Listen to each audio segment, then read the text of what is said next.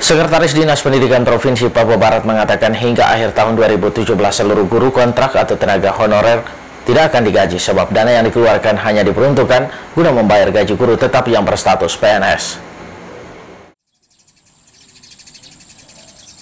Ditemui Kasuari Channel di ruang kerjanya, Sekretaris Dinas Pendidikan Provinsi Papua Barat Dafson Mamile mengatakan seluruh guru kontrak atau tenaga honorer yang bekerja di lingkungan SMA SMK yang ada di seluruh wilayah Papua Barat belum digaji sejak bulan Januari 2017. Hal ini terjadi akibat belum tersedianya dana untuk guru honorer sebab dana yang dikeluarkan hanya diperuntukkan guna membayar gaji guru tetap yang berstatus PNS. Dafson juga mengatakan, hingga akhir tahun ini seluruh guru honorer tidak akan mendapat gaji dari pemerintah Provinsi Papua Barat. Namun mereka baru akan diberi upah di tahun 2018 mendatang melalui dana BOS. Pegawai guru-guru kontrak ya berhonor itu jadi sampai sekarang dari Januari itu seluruh kabupaten kota jadi 13 kabupaten kota untuk khusus untuk SMA SMK ya karena kenapa belum dibayarkan? Karena belum tersedia dana untuk pembayaran gaji honor. Jadi untuk tahun 2017 ini eh, tersedia itu untuk PNS saja dari badan keuangan begitu.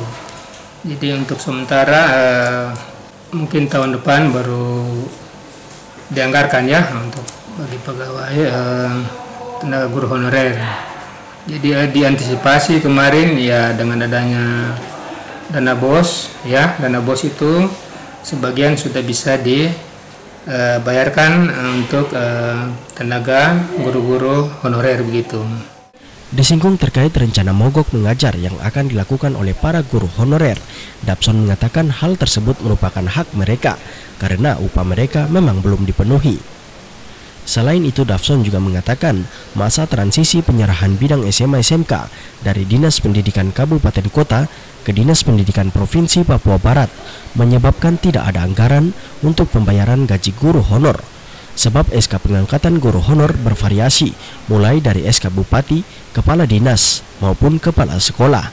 Ke depannya untuk pengangkatan guru honorer akan menggunakan SK Gubernur Provinsi Papua Barat. Itu yang saya katakan tadi. Jadi eh, 12 kabupaten dan satu kota, semua kasihan semua belum terbayar. Karena itu masa transisi penyerahan dari kabupaten kota. Nah, jadi memang eh, tenaga honorer kan itu diangkat oleh eh, ada yang bervariasi ya, ada SK bupati, wali kota, ada SK kepala dinas dan ada SK kepala sekolah.